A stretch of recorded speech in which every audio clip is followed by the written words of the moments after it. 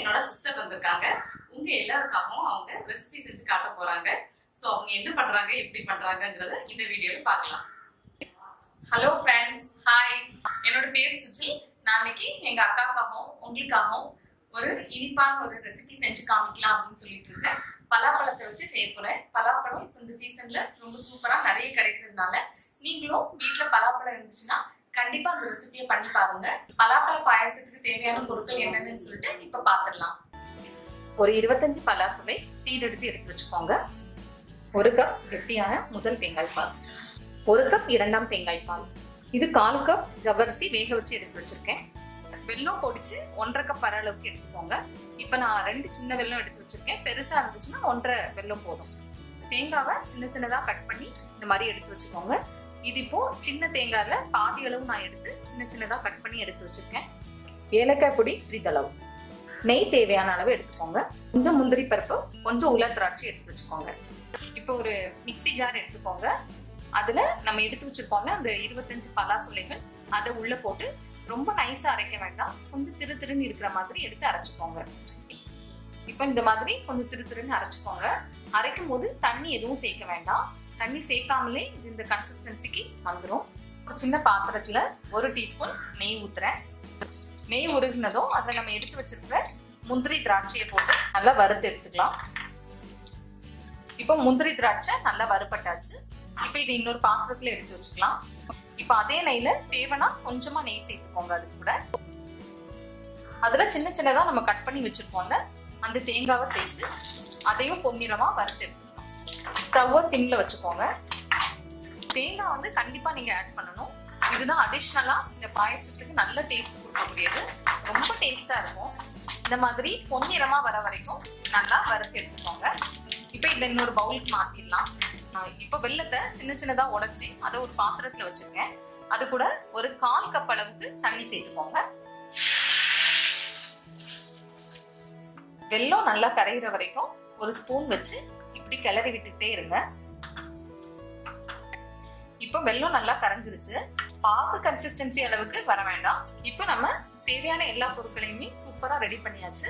இனிமே நம்ம பாயாசம் செய்ய ஆரம்பிச்சிட வேண்டியதான் இது ரொம்ப சிம்பிளான பாயாசம். நீங்க ப்ரிப்பரேஷன் வந்து சீக்கிரமா முடிச்சிடலாம்.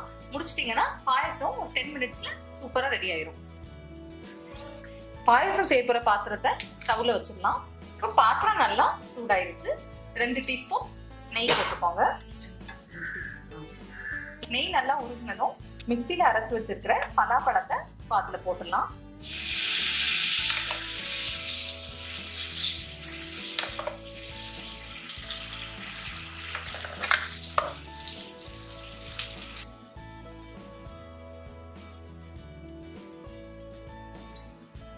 நல்லா இதை கிளறி விட்டுட்டே இருக்கணும். பலாப்பழம் ஃபுல்லா இந்த நெய் கூட கலந்து நல்லா வேகணும். பலாப்பழமும் நெய்யும் சேர்ந்து ரொம்ப நல்ல ஒரு வாசனை வரும். இப்போ கரெக்டா ஃபைவ் மினிட்ஸ் ஆகுது. நம்ம பலாப்பழத்தை நல்லா நெய்யில் கொஞ்ச நேரம் வதக்கியாச்சு.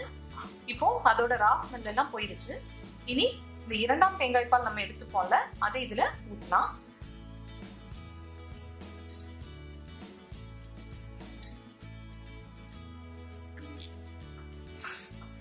இனி இந்த பலாப்பழம் வந்து இந்த தேங்காய் பால்ல நல்லா வேகணும். இப்படி கொஞ்சம் கிளறி விட்டுக்கோங்க. கொஞ்ச நேரம் நல்லா பலாப்பழம் வெந்ததுக்கு அப்புறமா வெள்ளைப்பாகம் நம்ம இப்போ சேர்க்க போறோம். வெள்ளைப்பாகு சேர்த்து நல்லா மிக்ஸ் பண்ணி விட்டுக்கோங்க. ஜவாசி சேர்த்துடலாம்.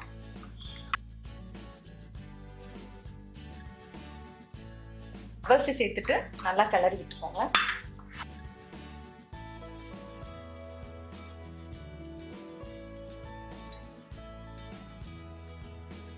கரெக்டா டென் மினிட்ஸ் ஆகுது. பாயசம் நல்லா கெட்டியா வந்துருச்சு. நம்ம வறுத்து வச்சிருக்கிற முந்திரியும் திராட்சையும் சேர்த்துடலாம். ஏலக்காய் பவுடர் சேர்த்துடலாம்.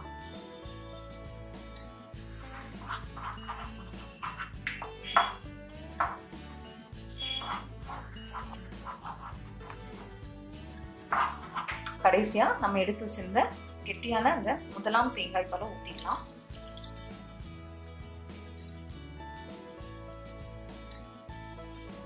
நல்லா கலந்து விட்டுக்கோங்க. இப்போ தேங்காய் பால் சேர்த்ததுக்கு அப்புறமா ஸ்டவ்வை சிம்மில் வச்சுக்கோங்க. கரெக்டான கன்சிஸ்டன்சி வந்துருச்சு. இதெல்லாம் தேங்காய் பால் சேர்த்ததுக்கு அப்புறமா கொதிக்க விட வேண்டாம். பாயசத்தை. லாஸ்ட்டாக நம்ம நல்லா நெய்யில் வறுத்து வச்சிருக்கிற தேங்காயை சேர்த்துடலாம். ஸ்டவ் ஆஃப் பண்ணுறதுக்கு முன்னாடி ஒரு டீஸ்பூன் நெய் சேர்த்துக்கோங்க. இப்போ பலாப்பழ சீசன் வேற ஸ்டார்ட் ஆயிடுச்சு. ஸோ எல்லார் வீட்லேயும் இது கண்டிப்பாக நீங்கள் ட்ரை பண்ணி பாருங்க. யாரும் நம்பவே மாட்டாங்க இது பலாப்பழத்தில் செஞ்ச பாயாசம்னு. சரி லாஸ்ட்டாக இப்போ ஸ்டவ்வை நம்ம ஆஃப் பண்ணிடலாம். இப்போ நான் நம்மளோட பாயாசத்தை டேஸ்ட் பண்ணிட்டு எப்படி இருக்குன்னு சொல்கிறேன் பாயசம் சான்ஸே இல்லைங்க. ரொம்ப சூப்பரா வந்திருக்கு. எல்லாரும் கண்டிப்பா இதை ட்ரை பண்ணி பாருங்க. உங்க கமெண்ட்ஸை கீழே டைப் பண்ணுங்க. Thank you bye